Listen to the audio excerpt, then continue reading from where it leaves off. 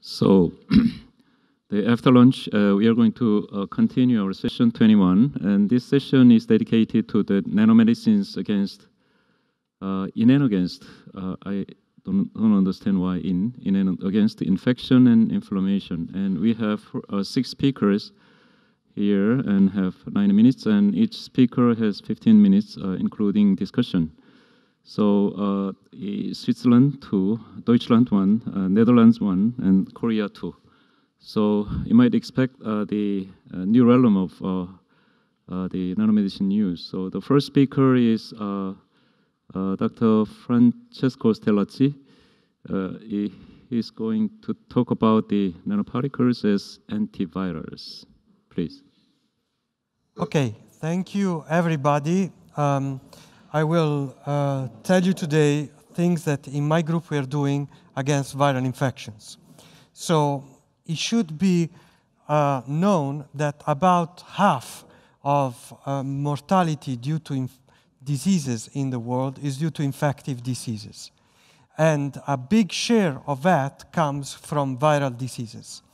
The reason for these large mortalities are multiple, but among them you can actually appreciate in this slide here the fact that there are many known human conditions that generate diseases and many known viruses that attack humans, but uh, only a subset of them are, are have uh, vaccinations and an other, even smaller fraction have approved drugs. So for the most part, when you have a viral infection, you're on your own. Your immune system has to respond to the viral infection, otherwise, things will not end up in a positive way. Now, uh, there are three big classes of drugs that we currently use against viruses.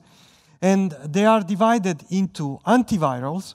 These are drugs that block the um, replication of viruses intracellularly.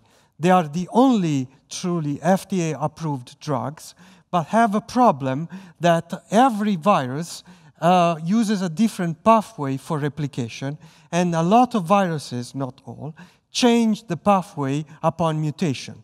So these drugs actually are very virus specific.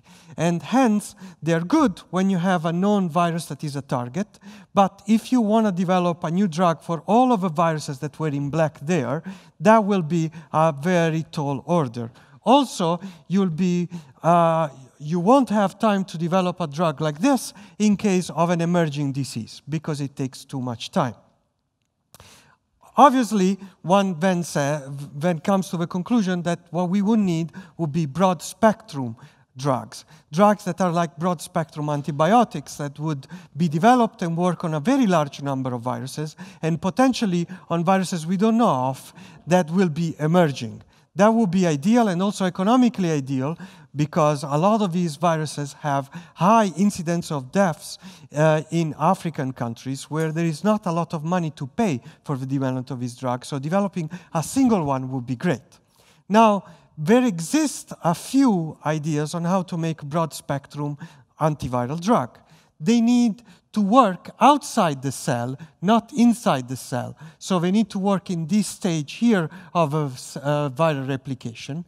They are called virucidal when they block viral infection in an irreversible way. To trivialize this, if a virus was alive, I could say they kill a virus.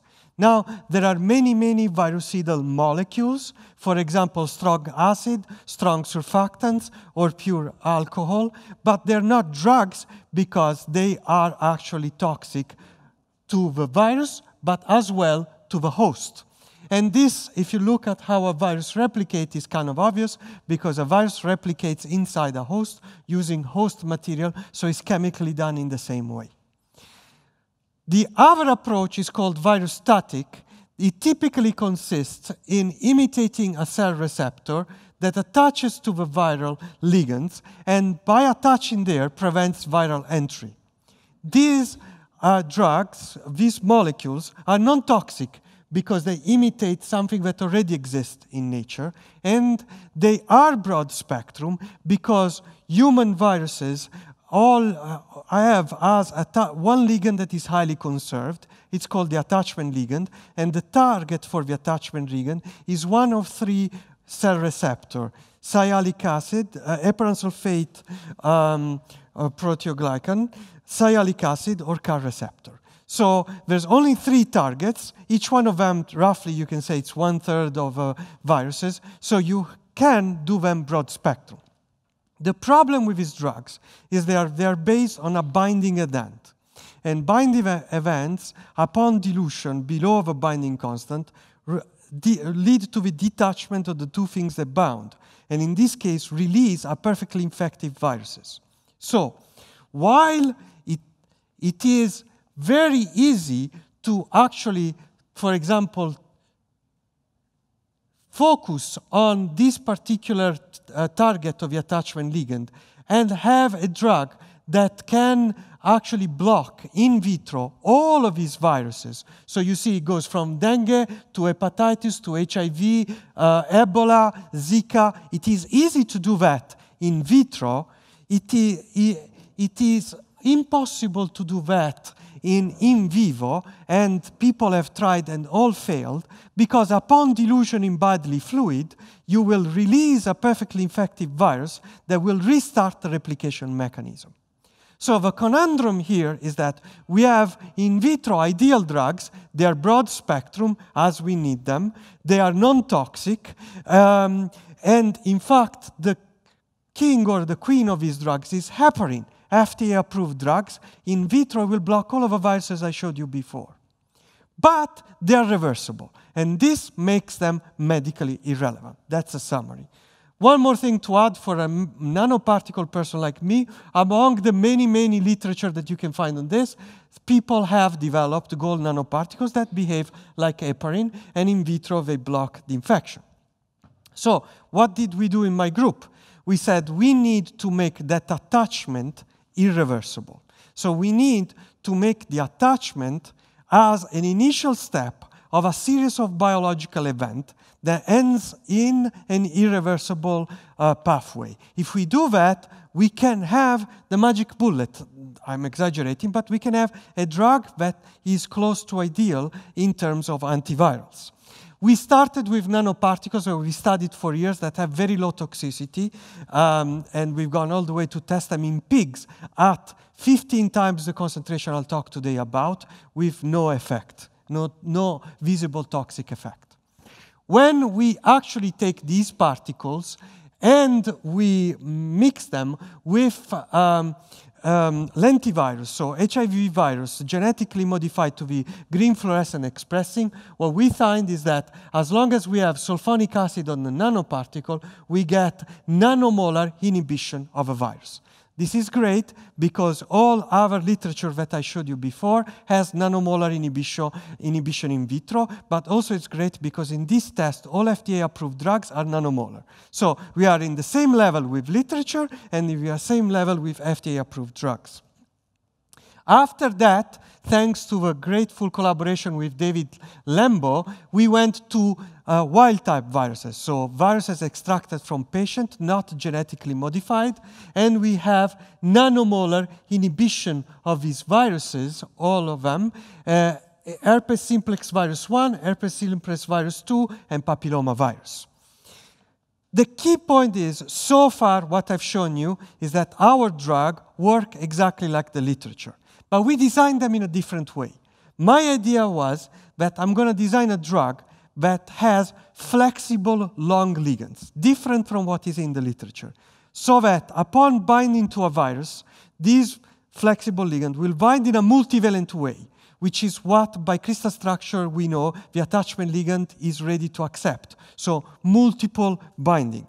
And upon this binding, the large amphiphilic nature of the ligands we had designed will establish hydrophobic contact. This applies a pressure. And we all know that in virology, a pressure is equivalent to the bursting of a virus. So what we are doing is a mechanical drug, not a chemical one, that locally applies a pressure to the virus. And the idea was to eventually lead to the virus bursting. Bursting is an irreversible event. So let me show you the results now. We compared our drug, so nanoparticle coated with long, flexible, highly amphiphilic ligands, with heparin, as I said, FDA approved the golden standard in this field, and with the gold nanoparticle that had short ligands. What we saw was the following. It, all three drugs in cell viability test had no visible toxicity. If we did dose array response, all three were nanomolar. But then we did a virucidal test. What is this test? We take from those plots the IC9090 uh, concentration, so the concentration at which the drugs blocks two logs of infectivity. So we put a titer of viruses with that concentration of drug in a sample. In the other one, we put the same titer of virus. So at this point, these two samples have a difference in infectivity of 100-fold. Then we diluted, diluted, diluted this sample up to the last dilution where here in the control we could see an infection. And what we're plotting here is the infectivity of a control versus the control plus the drug. As you can see, even though I started with 200, with 100 times, two logs, le less infectivity, upon dilution, all the effect of a drug is lost. That means that the, the drug reversibly detached from the virus and left infective viruses. That happened for heparin, happened for the short ligand viruses, but for our long amphiphilic ligand viruses, the infectivity was two logs less and was kept even upon dilution. And that was in a broad spectrum way. This property stayed against herpes simplex 2, papillomavirus, respiratory syncytial virus, HIV, and dengue. And the effect is a cascade of long, uh, of of events that take time because if I start doing the irreversibility effect at zero minute, it's mostly reversible. At five minutes, half of the effect is there, and only in half an hour, all of the effect is there. So it's a cascade of long lasting events that leads to this irreversible effect. Now, graphically here in cryo-TEM, you can see what happens. The nanoparticle go around the virus, concentrate in places which we believe are the attachment ligand. I have no proof for that. And eventually lead to the bursting of a virus. That's what happens. And that's why this effect is irreversible. Now, of course, I started saying that I wanted to do this uh, because by doing it irreversibly, this would be medically relevant. Let's show the in vivo result. First, ex vivo. This is, these are the results on tissue of uh, patients. So uh, regrown at the air liquid interface. And what you can see here is that if we have a tissue that is infected by herpes simplex virus 2, if we use the short ligand nanoparticle, at time zero we can kill the inf infection, but after two days, half of infection is back, at three days the whole infection is back. If we use our nanoparticle, at two days, nothing is back and only a little bit is back at three days.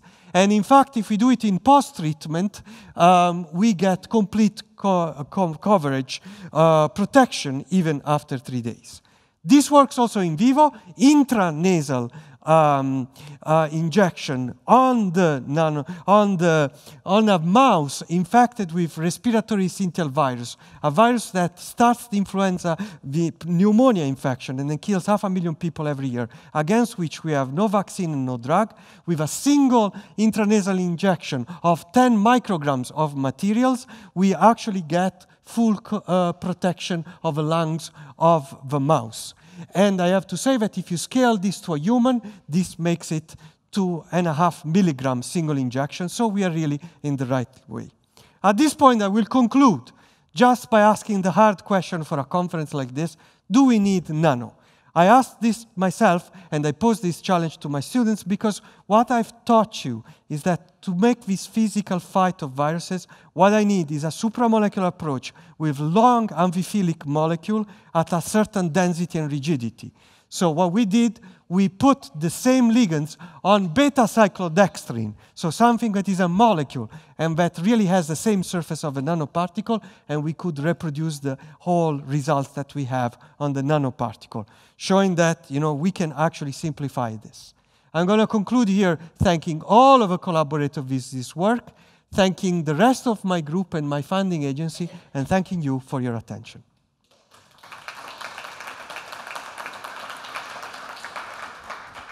Yeah, please. Ah, yeah. So you, you're not. So the you were explaining the broad spectrum antiviral, Uh-huh. uh, in which you, uh, I mean the in Nature Nanomaterials you have Yes. recently published. So uh, is there any question? Then okay, please. Is it correct that you want to use this as a vaccine?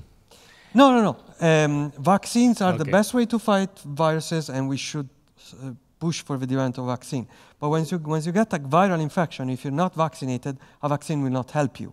So what we are trying to develop here is a drug. Is a drug for people that get the viral infection.